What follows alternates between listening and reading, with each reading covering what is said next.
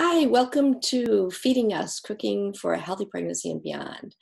This is our first virtual class, um, and it's an adaptation of a class that we've been doing successfully over the last 18 months at the Brigham and Women's Hospital.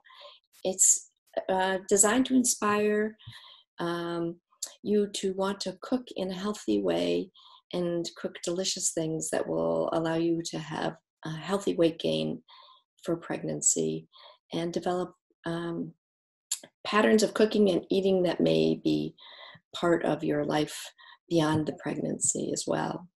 I'm uh, Susan Hellerstein, uh, practicing OBGYN at Brigham and Women's Hospital, and a generous gift allowed me to pursue this dream of teaching cooking to pregnant women. I've been advising women for years about how to eat in a healthy fashion to gain the right amount of weight and realize that it's hard to put nutrition advice into practice unless you have the cooking skills and you understand how delicious it can be to actually cook healthy food. Um, so, the goal of this class is to help you put this advice into practice, to have you understand the simple recommendations and realize that healthy eating can be delicious and you can expand your cooking skills to be able to do it. We want you to try some new foods, some new combinations, learn cooking techniques, and become more confident. So feel free to take today's class and the other classes in our series of five and tell your friends to join us too. I want to introduce you to the other members of the team. Chef Eva Katz has worked in a various number of roles and is a contributing editor at America's Test Kitchen for years. She's worked in restaurants, catering, recipe publishing, and teaching cooking uh, classes. Um, she's helped us develop this curriculum that involves fresh and delicious foods, practical cooking skills, and kitchen organizational skills. So if you haven't already turned on your oven, please do at 425. Um, Chef Laura Klein is a culinary wellness coach. She's taught a variety of healthy cooking classes in person and virtually. She's combined her business skills and marketing and lifetime medicine experiences with us and helped us deliver uh, this newly um, adapted online virtual cooking class. She has newly acquired chef skills that she'll be helping with teaching future classes with us. Next, we have dietitian Andrea Roche.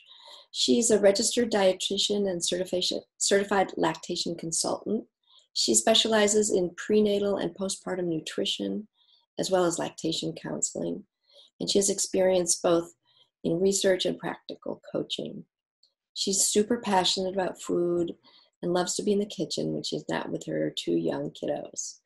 Uh, last but not least, we have Sarah Summer, who's an almost college grad from BU and an amazing research and program assistant. She's helped us organize the communications for this class with you and our program in general, general, I'm sure that you've received a number of emails um, or texts from her. So, some housekeeping. People may have a variety of uh, experience with Zoom. Please mute your uh, speaker. Um, turn your video off if you don't want to be recorded. Um, but we will be sure to edit out any recordings of you personally in anything that we share or post.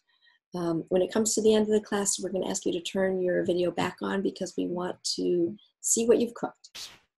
Um, if you'd like to rename yourself, please do with your first name only and send us questions via the chat box.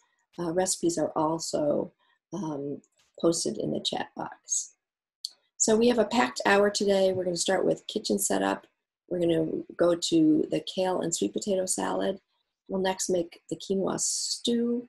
We have a nutrition talk about general recommendations in pregnancy. We'll then plate our meals, share what we've made, and answer questions. So, welcome to Feeding Us Cooking for a Healthy Pregnancy and Beyond. Hi, everybody. Welcome to my kitchen. Um, we got a couple great recipes we're going to be making today. Um, before we get started with cooking, I'm just going to show you my, my little setup here, how I like to work. Um, I have a really, really big cutting board. Most people don't have big cutting boards like this, but I recommend using as big as one as you have. on a regular basis. If you have a little small little cutting board, I've seen people try and make meals on like little bartender cutting boards. It's not going to be very efficient. If you have a cutting board kind of like this, that would be good. Um, sometimes these lighter cutting boards can slip around, so I recommend taking a damp cloth and putting it underneath your cutting board so it doesn't move around and this will stabilize it, help you prevent the board from slipping and you cutting yourself. So a little safety tip there. Um, I use my cutting board chopping just about everything, um, like onions, vegetables, bread, you know, pretty much anything except for fruit and meat. Um, I find the fruit picks up some of the odors, flavors from, so I use um, green cutting board I use for fruits and red cutting board I use for meats. Um, chicken and then these ones can go in the dishwasher or they can be really well scrubbed and that way you're not sort of getting cross contamination with meats on your nice cutting board. Um, let's see. Um, I like to work with kind of a trash bin on my near my worktop. I don't like to move around too much. I think when you you know sort of training in restaurants, you're sort of forced into a little space, which is good because walking around is kind of a waste of time, and you just want to be able to be as efficient as possible. So I grab all my ingredients before I cook, bring them over, so I don't have to walk back to the refrigerator. Um, I use a compost, but if you don't have a compost, you can just use like a little bowl and you put all your debris in your bowl. If you have a trash right near you, that's great too. Um, does everybody have their oven on? Hope so. 425, we're going to start by putting some sweet potatoes in the oven. Um, so we have two recipes. We've got the sweet potato and kale salad, and we have the quinoa stew. We're going to be kind of going back and forth a couple of times. So from recipe to recipe, so I'm going to tell you sort of the, the plan so you know, you know, you can prepare yourself. We're going to start by um, tossing our sweet potatoes in a little bit of um, uh, vegetable spray or oil and roasting them. Then we're going to start getting our quinoa stew going. Once that's simmering, we can go back and um, prep our kale for the salad and make the dressing for the salad and so kind of going back and forth. I'll show you a little bit of nice knife skills while we're going through everything. And if you have any questions, write it up in the chat. Somebody will either answer your question or ask me. And um, all right, so I hope you had a chance to mise everything. did you watch any of those videos that we sent you little clips to? How you read through a recipe and this is my little mise for the sweet potato salad. I'm just going to take the sweet potatoes for now and I'll put this back. Um, so this is actually kind of a pretty stable potato, but sometimes when you have a, a sort of round vegetable rocks like this. So what I would do before cutting it is just take maybe a little piece off to stabilize it. I just want to be safe. And we're going to cut these into one inch cubes. You should have yours done. If not, get chopping.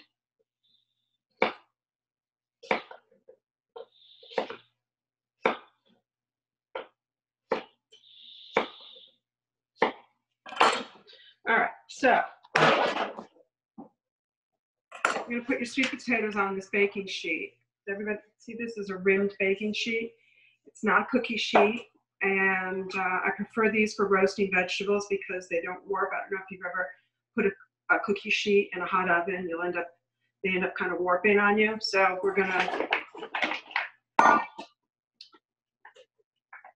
roasting vegetables is such an excellent way of um, bringing out the flavors, the sweetness, the intensity, the deliciousness of, of vegetables. I know a lot of people who are not fans of a lot of vegetables, and then they roast them and they're like, oh, that was good. Brussels sprouts, broccoli, cauliflower, they're all really great green beans, you name it, cabbage wedges, all great roasted. And it's basically the same concept. I'm just gonna give this a little bit of a spritz. Salt, pepper. I keep um, a little dish of kosher salt and freshly ground pepper by my workspace. Um, rather than use, I use a lot of pepper, and rather than use a pepper grinder, I just take a little bit of peppercorns every three or four days and grind them in a, um, in a spice grinder. All right, so you spread them out, make sure there's plenty of space. If you have too crowded of a pan, you'll end up sort of steaming your vegetables and they won't brown. So in the oven they go. Set our timers. They take about 25, 30, 35 minutes to roast, but we'll check them halfway through. I'm gonna just set my timer for like about 15 minutes just to make sure nothing's crazy is going on. Okay. All right, now I'm gonna bring over my mise for the stew. I know a couple people said they had a hard time finding quinoa. Um, and I think we recommended that you can use some uh, quick cooking lentils like red lentil. I hope that um, that works out for you. Um, so if everybody has time to bring their ingredients over to their workstation, hopefully by their cooktop, we'll get cooking. So quinoa has um, a coating on it. It's a natural coating that protects it. And that coating needs to be washed off.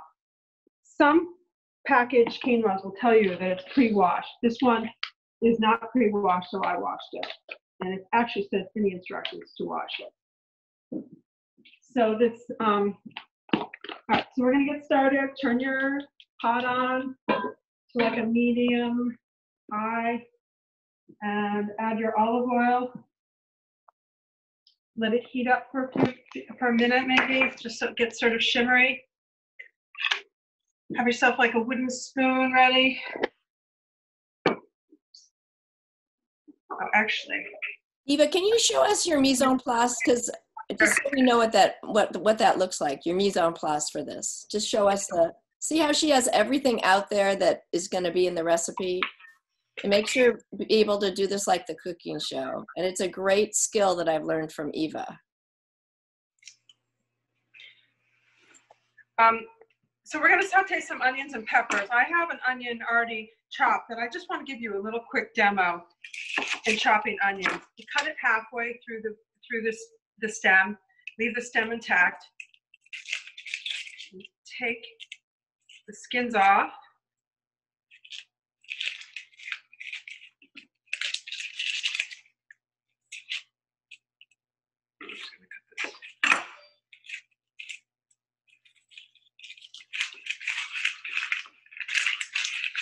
The other tip for um, for cooking, you know, just to sort of clean up as you go, do one task at a time. So let's say you had four onions and you need to peel and chop. You would peel them, you would slice them, peel them all first before you start chopping them. Then you do the chopping. So this way you've gotten rid of your debris and you have room on your cutting board. All right, so this is a fairly small onion, easy to handle. Um, and I'm gonna just cut down lengthwise, sort of along the ribs. You see I'm holding my knife mostly on the base, but I have a little bit grabbing onto the, um, the knife part of the, the, the, metal of the knife. All right, and then I use, my, I keep my fingertips um, tucked under and I use the knuckles to guide the knife blade. This way when I push the knife down, I'm not gonna cut on my fingertips. I keep the tip of the knife on the cutting board and I do sort of a motion, a, like a sawing mo um, not a sawing motion, but just an up and down motion, keeping the tip on the, the board. If you have a really large onion that's kind of hard to manage, you can cut your, your, your onion in half and sort of make quarters out of it. And you can cut it this way and then you can actually turn it around, cut it again a couple times, and then you get a nice small dice. without having to go back and redice it. All right, so for the uh, red pepper, I'm just gonna cut around the ribs and the core. And I'm just gonna maybe take out some of this white pith and small kind of quarter inch cubes.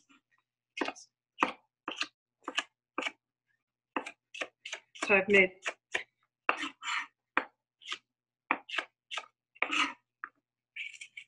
So we hope that you have um, been able to prepare in advance because we don't expect anyone to be able to cut quite as quickly as Eva.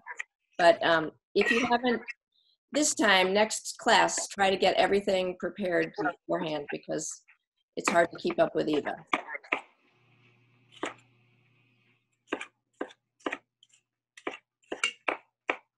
All right, back to the cooktop. All right, heating, I'm heating up my oil and my onions. Hey, Eva, how can you tell um, when the oil is hot enough to start cooking? So I'm looking for it to shimmer a little bit, kind of like it's like uh, little waves on like on the oil.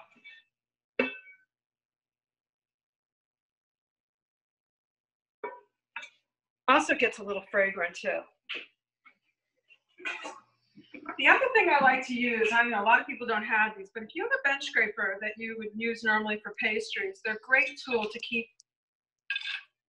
on your uh, in your workstation, scooping things up, rather than using your knife, which isn't a good idea. I do it, but all right. Let's get your onions and peppers in the pot.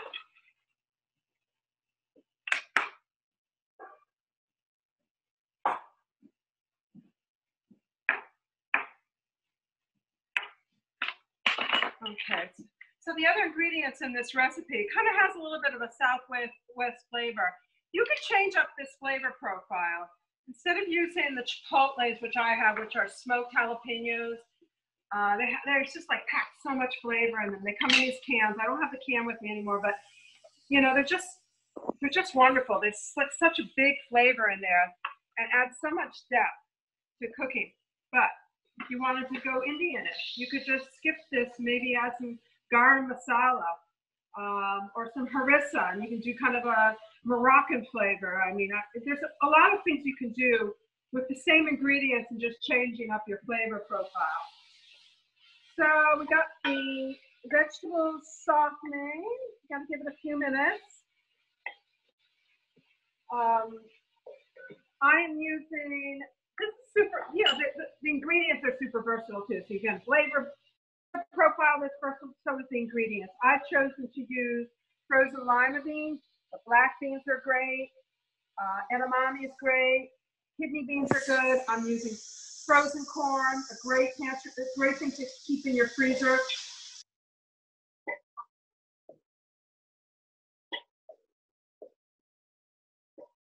Everybody's sizzling away. Everybody's good so far. And also, Ava, um, somebody didn't have lentils, and so and they didn't have um, red lentils, so they asked about green lentils, which I said were fine. They just take a little longer to cook. Uh, asking if green lentils are fine to use. Yes. Okay. So if you have, if you're using lentils, what you're going to have to keep an eye on is just the cooking time. So we're going to put in all this sort of the aromatics, the spice, the sauce, the tomatoes, and your grain. And before you add your corn and your um, beans, maybe just check to make sure that your lentils are cooked enough. If they're not, just give it a little bit more time. And if you're worried about things like evaporating, always add a little bit more water and just give it a little bit more time. I'm sure it's going to be fine. I just can't guarantee it's going to cook in the 15 minutes with the steam But I think we should be okay. Great, thank you. All right. So my onions are getting golden. Give it a couple, maybe one or two more minutes. Making a lot of noise over here. It's sizzling away. Um, Gabe, um, I think your hand might be over the uh, speaker a little bit. It's a little hard to hear Eva. I think I fixed it. Thank you. All All right, so now I'm going to add my garlic, my chipotle that I've chopped up, and the spices. We got cumin, coriander, and sweet paprika. If you don't have sweet paprika, you can just skip all those spices and add chili powder, which is basically kind of what we, those flavors, cumin, coriander, paprika are already in chili powder, so that's an option too. And what we're doing now is by cooking the spices in the, in the oil, we're kind of blooming them, waking them up. And we're just gonna get a better flavor in our end product by taking this step. Okay. All right, so now I'm going to add my broth. I'm using a vegetable broth. And I'm gonna use the, the bottom of the uh, wooden spoon to kind of scrape up any kind of brown bits on the bottom of the pan. That stuff is flavor. Okay, tomatoes. And quinoa. Salt. Meant to add some salt with the onions, but all right, so one of the things about seasoning is it's a really good idea to season along the way rather than just once. I know some people are concerned about the amount of salt that they're that they eat, but I think by using um, by salting it in different stages, you might end up actually using less salt at the end right, at, at the end because the ingredients are kind of absorbing the salt as they go along. Um, imagine sort of like how hard it is to season like a green bean if the water that you cooked in it wasn't salted. It's almost impossible to get, to that salt in those green beans. So, um, all right. So we're gonna bring this to a boil and then we're gonna lower it and let it simmer for a little while. I'm gonna move, gonna rearrange everybody. Um, if you have, take a minute to kind of rearrange yourself and get the um, kale ready to prep.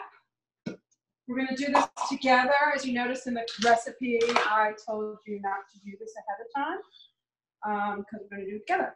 I'm gonna show you how to do it. So I'm using Tuscan kale, which is my favorite. It's called dinosaur kale. But you can use curly kale, you can use collard greens. Um, what we're gonna do is hold the stalk upright and then you use your fingers and you kind of slide down the sides of the stalk and you leave the stalk the core behind, the stem, you know, and then you just get the leaves. All right, everybody, give it a go.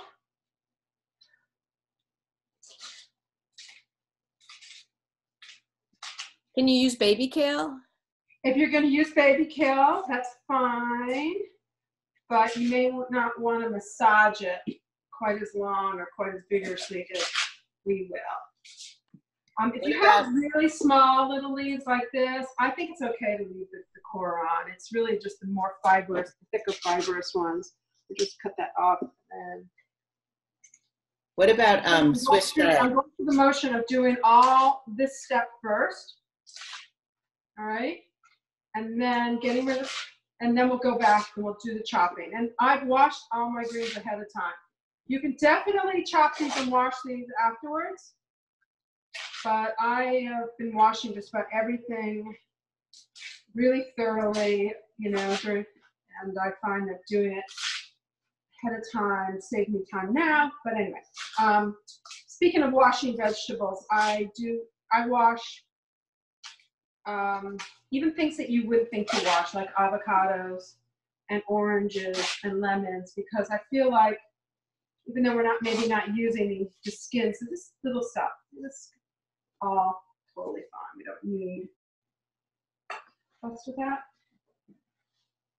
Ava, we have a question about um, Swiss chard. Can you use Swiss chard instead of? Absolutely. Okay. What about Absolutely. spinach? Spinach Same okay? thing. You still want to remove the stalks. Spinach. Oh, s- spinach. What about spinach? Uh, you can use spinach. Um, it's definitely a gentler kind of gentle flavor and a gentler er, um, you know, texture. Um, but I don't see why not. Just not going to do the massaging at all. It'll just end up with. Is somebody using spinach in there? Has anybody got spinach? Somebody um, was asking if they could substitute. I don't think they're using it tonight, but they were just asking. Um, Oh, okay. All right, so all of my stems have been removed, and now I'm gonna take the greens and chop them into kind of two inch pieces. And then put them in a bowl. All right, I'm lowering my stew. It's just sort of a gentle simmer.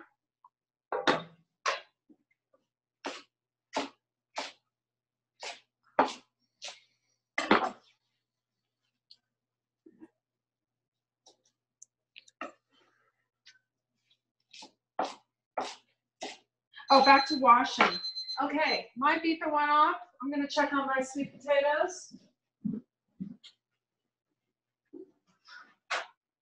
Looking good. Nothing burnt. I'll set my timer for another 10 minutes. Okay, I'll set 15 minutes. It should be, yeah.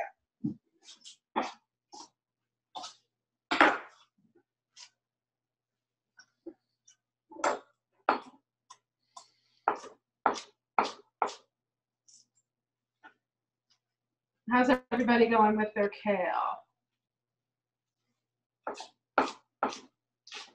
Everybody looks good so far. All right.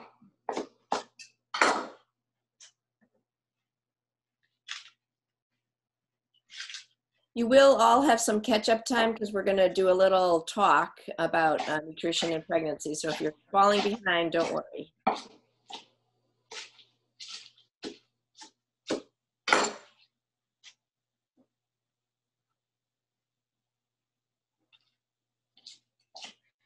So I was talking about washing vegetables and why I wash things like avocados and um, lemons. I don't know if I finished that train of thought, but the reason why I wash those those those vegetables and fruits as well is once you cut into them, you know, with a knife, something from the exterior of that avocado could get into the interior, and um, so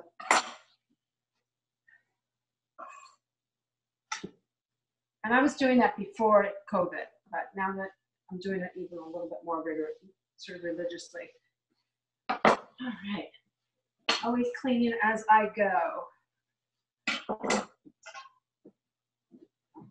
All right. I hope everybody's almost done with their um, kale. Um, I'm to get ready with the dressing.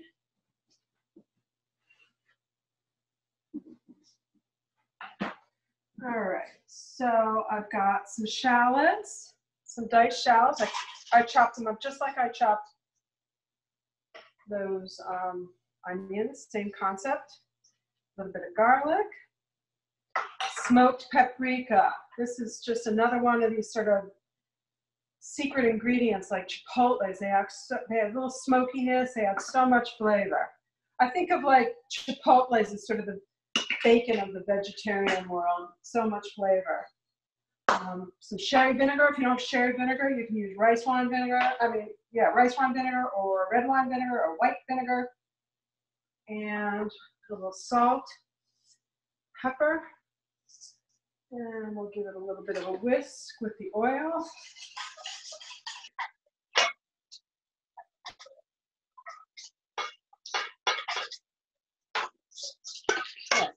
Eva, do you do this mise en place even when you're doing cooking for yourself and not our little cooking? Depends. Depends on what I'm making, Susan. That's a really good question. Um, if I'm, you know, if I'm trying new recipes, I tend to like to have things organized so I can just concentrate on the recipe and make sure I don't make mistakes. I'm baking, I always try and mise en place things. I might mise things together, so I'm not using a million little cups. Um, if I, um, if I'm making a stir fry, absolutely. Everything is ready before I hit the stove because the stir fry goes like that. You don't want to be, you know, you got you're doing things on high heat and it's fast. You can't be chopping anything. If I'm making a stew, and I'm browning my meat. And I know that that's going to take me 10 minutes. I will start that process and I will do some prepping on the side. You know, it's basically how to best use your time. Um, so I have some peanuts here, and I just want to show you a way of you can crush them. It's just using the bottom of a bowl. A little easier than a knife, but you definitely can use a knife too if you want to. This works really well with peanuts. Not so much with other nuts. Uh, pretty good with cashews. Almonds are a little hard. Um, walnuts, it's okay. Doesn't have to be super even. Kind of a rustic dish. We're going to take half of the peanuts and put them in the uh, dressing. Okay. Now we're going to get dirty. We're going to add our chopped kale to the bowl with the dressing. This is a great, great salad to, for make ahead. I mean, kale just you can you can make this salad. This is a great for batch cooking because you can make this salad and put them in four different little containers, and you've got four like lunches that you can bring to the office if you ever go back to the office to work with that. I don't know if that's ever going to happen, but anyway. Um, so we're massaging. Who ever thought you'd be massaging a vegetable? But we're giving this kale, breaking down the fiber so it's more palatable, it's more digestible. It's like it's um, it's a pretty pretty fibrous vegetable. This just makes it so much more pleasant to eat. Massaging it. And of course, we all washed our hands for the 20 seconds before we started. Oh, yes. Sorry, I meant to start with that, didn't I, Susan? Oh, well. I mean, I did. I washed my hands before I got going, but I meant to have everybody do it together. Just as a reminder. Eva, um, if we don't have shallots, what could you use instead? Oh, you can use a little red onion, maybe use like a quarter of a cup of red onion. Um, you can use some scallion, scallion whites. Um, you can use white onion, anything. I mean, shallots just have mild onion. So that's a good question. All right, I think this is good. So it's sort of, it's sort of the volume has kind of gone down a little bit. All right, I'm gonna go wash my hands. I'm gonna give you all a minute to catch up. And um,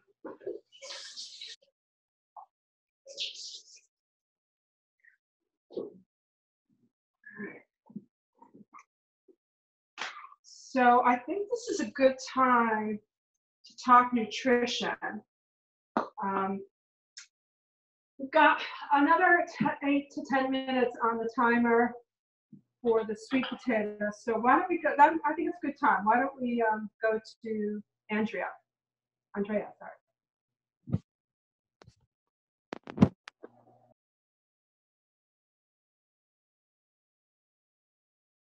So hopefully everybody can hear me. Um, my name is Andrea and I am a registered dietitian and lactation consultant. Um, today we're going to kind of talk basics of nutrition and pregnancy. Um, so one of the, the main messages we want to get across, um, if we can switch the slide um, to our beautiful balance plate.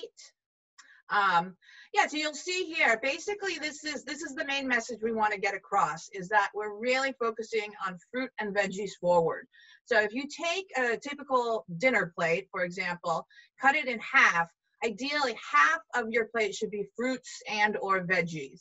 Um, so going, yeah, um, and then you, um, on that other half, slice that other half in half. So you've got two quarters essentially. And on one quarter of that plate, you've got a healthy starch or grain. Um, we've got a whole other session where we're going to talk, you know, really focus on healthy grains and how quality is what matters. Um, same thing with protein. Uh, focusing on lean quality proteins. And then you'll notice these other components of the plate, healthy fats, um, definitely want to watch portion sizes, but every meal really should contain a healthy fat as it helps you absorb most of the nutrients that are in the fruits and veggies. Um, then dairy, and that can include non-dairy, and the focus here is during pregnancy, we need a lot more calcium. Um, also, good source of protein. And then fluids. Don't forget to keep the fluids up. Water is always the best option. Um, One other message we like to make is, um, you know, when you're thinking about portion sizes, a serving of protein, a lot of people ask, what is that? Well, you know, it's basically the palm of your hand. Um, a serving of vegetables would be one fist. Um, a servings of carbs would be a cupped hand. So hopefully you guys can see me. And then a serving of fats is about one thumb. Um, so kind of using the hand method to think of portion control. Uh, so looking at the next slide, um, you'll see here, this is a perfectly balanced breakfast plate. Half the plate um, are, are fruits, one quarter whole grain, another quarter lean protein, and then that avocado there to kind of tie everything together with that healthy fat and a little non-fat Greek yogurt for some added protein and calcium. Um, and then um, when we are out and about, again, if that ever happens again, this is what a perfectly balanced lunch might look like. Um, and then for dinner, um, you see here, again, half the plate, veggies, one quarter lean protein, one quarter grain. Um, so then looking at or talking about weight gain during pregnancy, this is this is not the time to start losing weight. Weight gain is definitely expected. Um, and the rate of weight gain is uh, depends on your pre-pregnancy weight or BMI. Definitely something to speak with your midwife or OB during all of your um, visits. So if we look at this next chart here, um, the next slide. So this shows you, uh, if you look at that first column, what your pre-pregnancy weight or BMI was. Um, so if you don't know this, this is definitely something to ask your uh, healthcare provider about. And then you can kind of gauge how much weight you should be gaining per trimester. Um, so this is, uh, I believe this is gonna be on our website if you wanna look at this in more detail. Uh, but again, always something good to bring up during your, your office visits. Um, in terms of calories, um, we really want to avoid the mentality of eating for two. That would mean, uh, you know, an additional 1,800 to 2,000 calories for most of us. Um, and yeah, babies just don't need that much. So, um, and also focusing more so on quality again, rather than quantity of the food. Um, you'll notice here for second trimester, recommendation is around 340 extra calories. That's a large snack or maybe two small snacks or a small meal. And then third trimester, you know, as we get a little bigger, um, we want to focus more on around 450 extra calories per day. And that's, that's about a typical meal. Um, and then again, looking at your weight gain pattern, which is something you can work with your healthcare team or registered dietitian on. Um, and then food safety. This is more important than ever. Um, but um, you know, kind of some of the general recommendations while pregnant. We want to avoid the undercooked and raw foods. So unfortunately, no sushi, no runny eggs, uh, no poached eggs. Uh, in terms of fish, it's the mercury that we're most concerned about. Um, and that's found in those big fish. So that's going to be like king mackerel, marlin, orange roughy, swordfish, shark, tilefish, and most tuna. Uh, in terms of deli meats, uh, definitely don't want to eat these cold. Um, it's mm, typically recommended to, to avoid most deli meats, but uh, some can be eaten safely if they are heated to steaming, uh, which can be done in the microwave or stovetop. In terms of pasteurization, we usually just associate this with milk products, but um, even juices can often be unpasteurized. Um, what you want to do is look at the label. If it's pasteurized, it will say so on the label. Same thing with cheeses. It will always say the first ingredient, if it's pasteurized, will say pasteurized cow's milk. Um, and then caffeine, um, one of the hardest things to, to limit while pregnant for many women. Uh, keep this to uh, two cups or less per day. Uh, in terms of teas, most grocery store teas are safe, but I would avoid anything that says detox, cleansing, or medicinal. Um, another thing, you know, if you have more questions, you can certainly um, ask us, but also good questions to ask during your, your healthcare uh, visits. Um, artificial sweeteners, this is another thing a lot of women ask about. Um, typically, I recommend avoiding the blue or the pink stuff. and that the green and the yellow stuff, so your stevia and your Splenda are probably okay. Just don't go too overboard. Um, and yeah, looking at the next slide, um, we thought this was pretty relevant to discuss some food safety in quarantine. Um, so, you know, as best as possible, minimizing our trips to the grocery store and planning ahead. So if you aren't one to meal plan, this is a great time to start that practice. Um, so, you know, meal planning for two weeks and prioritizing fresh foods over first. So when you do go into the grocery store, go to the fresh food produce section first. Uh, make a list. Uh, not only will that help with meal planning, but it'll get you in and out more quickly. Um, and then, of course, timing, you know, shop early or late, consider delivery or curbside pickup. Um, and this is also a great time to prepare more home cooked meals, which hopefully we're inspiring you right now to do that uh, with this class. And then food delivery options and takeout. Um, a lot of people are opting for uh, those meal delivery or those food delivery programs such as HelloFresh, where everything is already chopped and prepared. You just get to put it all together in the end. Um, and then in terms of takeout, you know, avoiding contact with the delivery person. So often over the phone, you can provide payment without a signature and just leave instructions, please leave at my front door. Um, when the food does come in the house, I recommend putting it immediately in your sink and transferring the food to other containers. And of course, wash your hands. Um, do we have time to talk about nutrients or should we get back to Eva? I think we can I think we need to check on our sweet potatoes. Okay. Everybody, how's the sweet potatoes going? Mine are done. Gabe, you want to show them a picture of what mine looks like? Spotty brown, nice caramelization. And we also want to put our lima beans, if our quinoa is done, my quinoa is definitely done. If you're working with lentils, check them, see what the texture's like, make sure that they're kind of, these don't go in for very long, but I'm gonna put my, my beans corn in, stir that in. Right. And how's everybody doing? Can you give me a thumbs up? All right, so um, anybody have any questions? Okay, so I am going to plate my sweet potato salad, my kale salad. I'm putting the kale and then dressing down first. Um, and I'm going to take my potatoes. This salad is so delicious. It's like, and it's it's special enough. It's different enough that you might want to do it for entertain. If you're entertaining, if you ever do that again, remember that? Um, so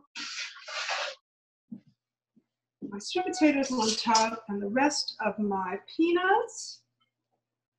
And I gave you a recipe for pickled jalapenos, kind of a little bonus recipe. You're welcome for the bonus, but uh, I love the flavors of something pickled with almost everything. So, but if you don't have them, um, so I had some already done, but I also have some freshly chopped ones. So if you're going to use a fresh one, which I think is just equally delicious, you could just put a little bit on like that. If you're using the pickled ones, because they're milder, there's a little sweetness in them. You can use the rings if you want. And pickled vegetables, pickled onions. I should just add like such a pop of flavor and acid to your recipe, to your food. It's just delicious.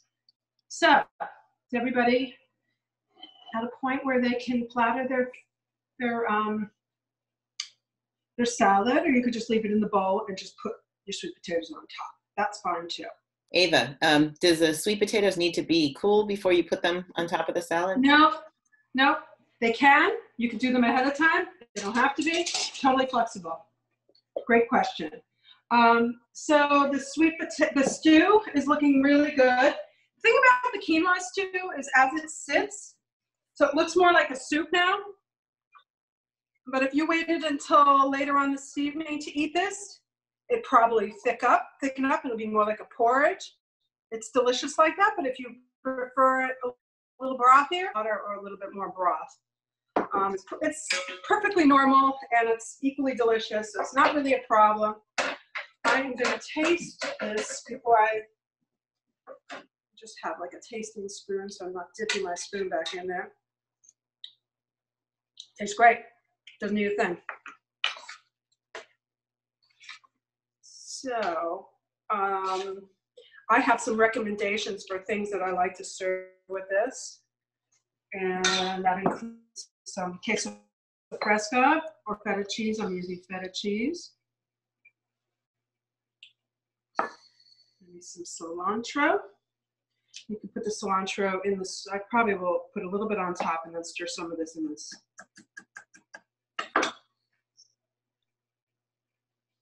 And Some avocado that I washed. Just scoop up.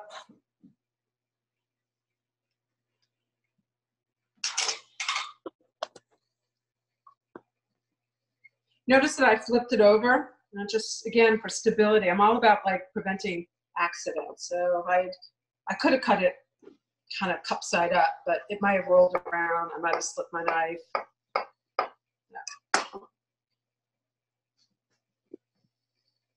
Eva, do you cut cilantro with the stems or do you take the stems off? Yes, I, I, I, I leave some of the stems on. There's a lot of flavor in stems.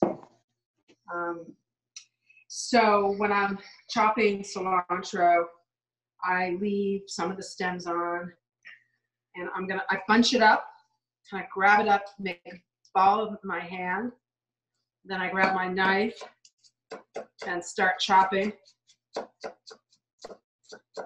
And I'm going for kind of a rough chop, almost like a slice. That's it. Doesn't have to be too fine. All right. I'll put some onion to put it in there. You can go ahead and do that. And again, this soup is great for batch cooking. You can portion them out, have four portions.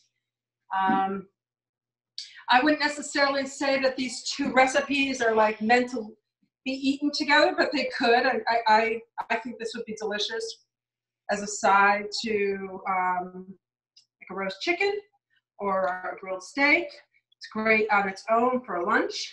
Maybe have a hard-boiled egg for some protein, extra protein. Um, anyway, I just want to know if anybody has any questions out there. How'd it go for you? Um, can you um, tell us when to put the lime in, or is that just a garnish? Oh, right. You squeeze a little lime.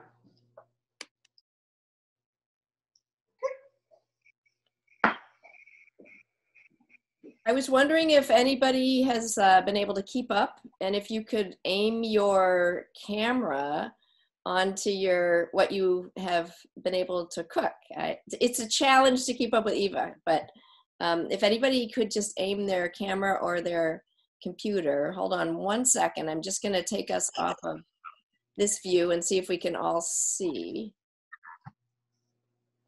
Oh, something good. Emmy, that looks delicious. And Jack,